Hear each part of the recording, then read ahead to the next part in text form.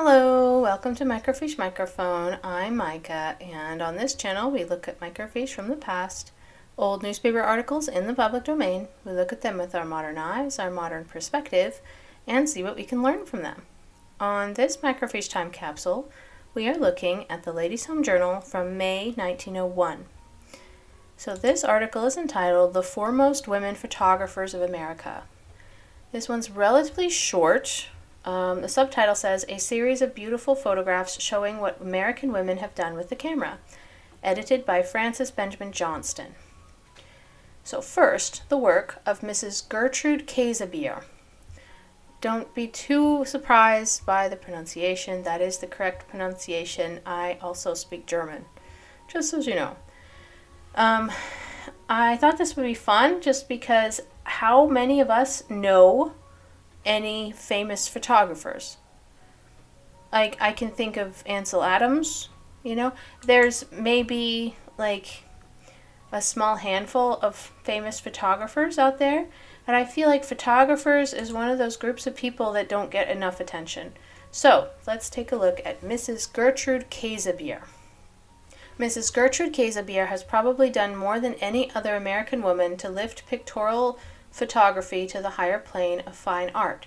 She is something more than an artist. She is the traditional genius of an infinite capacity of taking pains, an enthusiast with limitless patience, a trained hand and eye, keen intelligence, quick sympathy, and a passionate delight in beauty, not only of form and line but also of color. Gifted with this temperament and with an inherent love of the beautiful which has colored her whole life, Mrs. Käsebier's success is in no sense accidental, but the logical result of ceaseless effort and patient training. When, after years as an art student both in America and abroad, Mrs. Käsebier felt her powers maturing, she chose, with deep and careful purpose, photography instead of the brush or pencil as a medium of artistic expression. It is therefore not only its beauty and conception and execution, but also its dignity and purpose, which makes her work at once the inspiration and despair of the growing army of pictorial photographers, while the wide range and versatility of her work are perhaps its most remarkable qualities. Mrs. Käsebier reaches her greatest height in her portrayals of the tender grace of motherhood, which become imaginative creations full of deep and sincere feeling.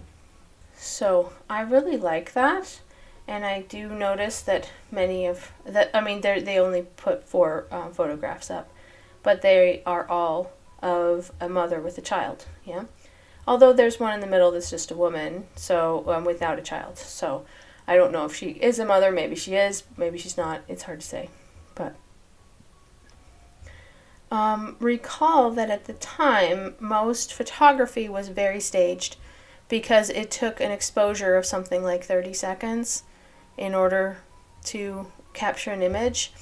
And considering today it's like a fraction of a second, that's a huge difference in the technology of the time.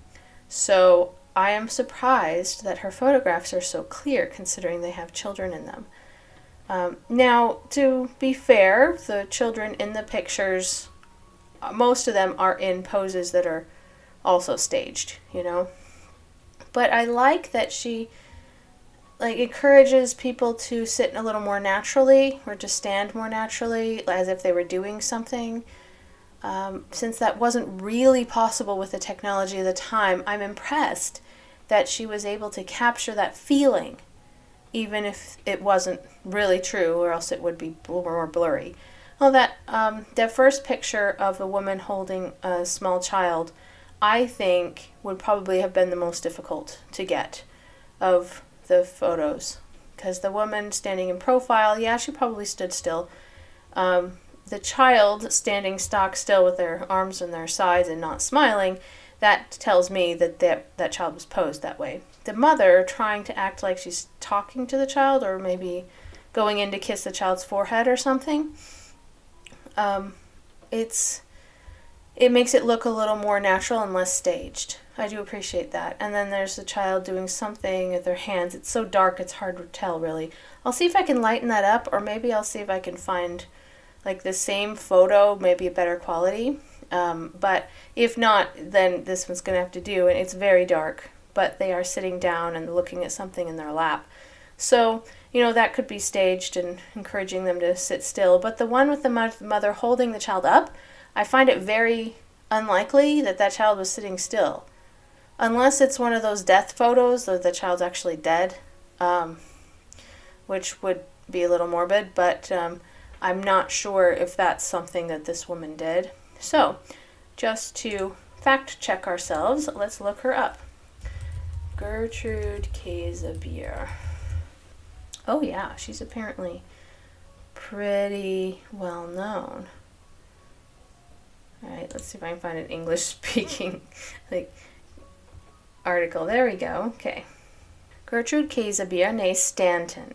So she was originally Stanton. Was born 18th of May 1852 and lived until October 12th, 1934. Was an American photographer. She was known for her images of motherhood, her portraits of Native Americans, and her promotion of photography as a career for women. I like that. So she was a little bit of a groundbreaker, yeah? So, early life. Well, they didn't really talk about her life, yeah? So maybe let's just look at her photography. So I'm not going to go into her life just because it wasn't mentioned in the article anyway. But um, I think that her actual photographs will probably speak more. Apparently, she really loved the Sioux.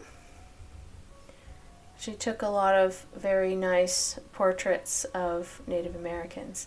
I like that.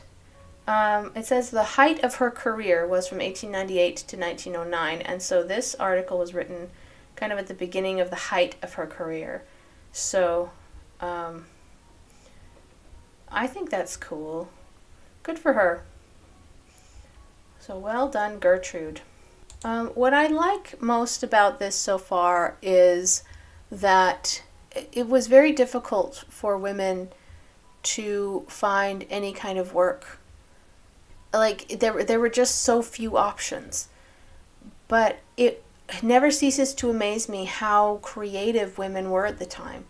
Like photography was in its infancy in 1901.